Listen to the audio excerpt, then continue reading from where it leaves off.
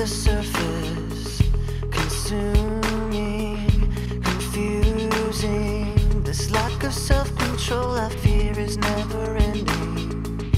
Controlling, I can't seem to find myself again. My walls are closing in. Not a sense of confidence. I'm convinced that there's just too much pressure to take.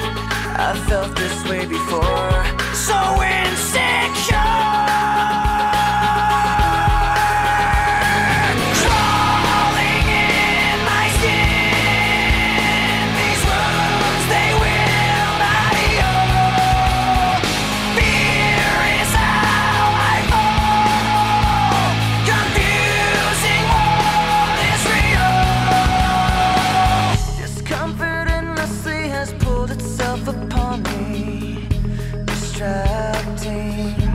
reacting. Against my will, I stand beside my own reflection.